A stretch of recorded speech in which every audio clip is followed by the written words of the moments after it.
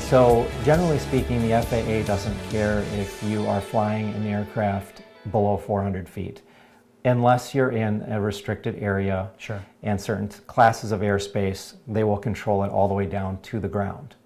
Uh, however, in most areas, you go out to your local park, you go out to your backyard or your local flying field. If you stay below 400 feet, the FAA Uh-huh. is totally okay with that Right. because you're really not posing much of a danger to any type of manned aircraft.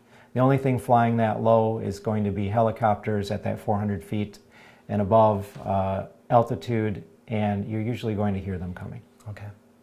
So people want to know about the uh, 333 exemption and how to get one, who it applies to. So let's start there. Um, Who can get a 333 exemption? So, and let me start with what is the 333 and who would want to apply for it because it's a lot of paperwork and it's not necessary for, for I think, a majority of people that are just getting into the hobby. Uh, as long as you are flying under the FAA's predetermined hobbyist or model aircraft standards, you do not need a 333 you are operating as a model aircraft. And a model aircraft doesn't necessarily mean something like when I hear the term model, I think of I bought the box when I was a kid and I put it together with the Testors glue and I painted it. A model aircraft is just any aircraft that you're flying with a certain purpose. And uh, they've also defined it as being under 55 pounds is considered to be an SUAS, a small unmanned aerial system. Okay. I've given up trying to correct people that they're not drones, and I've now just called them drones because everybody knows what that means. It's what the FAA is doing as well. They've got the no drone zones. So, if the moment that you exceed those model flying standards, you now have to operate under all of the same laws as a manned aircraft would. So, if you fly above 400 feet, if you're going to fly at 401 feet, you now have to abide by every law and every regulation that a manned aircraft would have to abide by. If you want to fly at night, the same thing. If you want to fly uh, in, in certain, for commercial purposes, so for monetary gain, you want to sell a photograph, Right. you want to sell a video, you want to, uh, and people will try and get around that by saying, well, they're paying me for my time, not for my video. Well, the FAA is a federal agency, and uh, my recommendation on that is to stick as close to what their guidelines are as possible. So, as soon as you want to fly outside those standards, you'll realize that you cannot, with a, a drone aircraft such as the Phantom 3 or similar, you cannot abide by all of the regulations because the FAA has a litany of regulations that are going to require such things as uh, certain placards, certain sizes of tail numbers, certain manuals that are kept on board the aircraft, certain safety features that are, that are uh, inherent to the aircraft. You cannot keep a manual on board of a Phantom 3 or similar drone.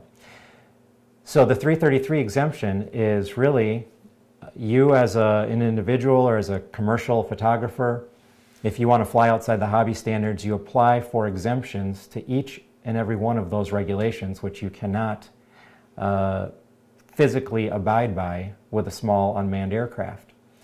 And uh, one of those regulations, or one of the questions that comes up oftentimes, is do you need a pilot's license to apply for a 333? Right. uh, a real manned pilot's license? And the answer to that is no, you don't.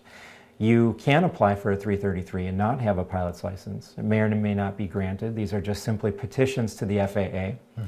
However, you cannot operate the aircraft without having a manned pilot's license. That is not one of the exemptions that the FAA is currently accepting. They'll accept things such as the size of lettering on the side of your aircraft and certain markings and certain manuals kept on board.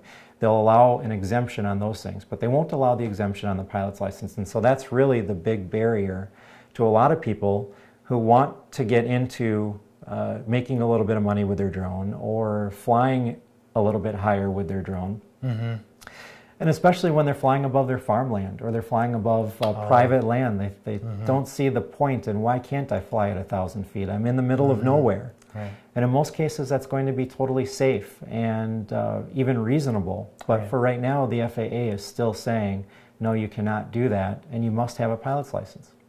So I said a minute ago that you don't have to have the pilot's license to apply for the 333, but you do have to to operate. So what does that look like? It would mean you, Jim, as a Like an Inspire. photographer, for example, could apply for a 333 exemption, have it granted, and then hire me, a licensed pilot, to operate on your behalf for your company. So as long as I'm the one who's in control of that aircraft, you would be within your uh, within your legal exemptions. And that would be really handy if you start looking at some of the larger aircraft or even the Inspire 1 from DJI, where there's two controllers. I could be flying the aircraft, and Jim, the photographer, could be running the second controller and uh, directing me in where you want those shots and how you would like them to be composed, and you're operating the camera. So there are some really good ways for you to go about it. It's just more difficult to do if you don't have a pilot's license and if you don't know somebody who can fly for you on your behalf under your exemption. Are there any other exemptions that one can apply for outside of the 333? At this time, there are no other options for flying legally outside of the hobby model standards that the FAA has set. The 333 is really your only way to go about it, unless you're a public entity.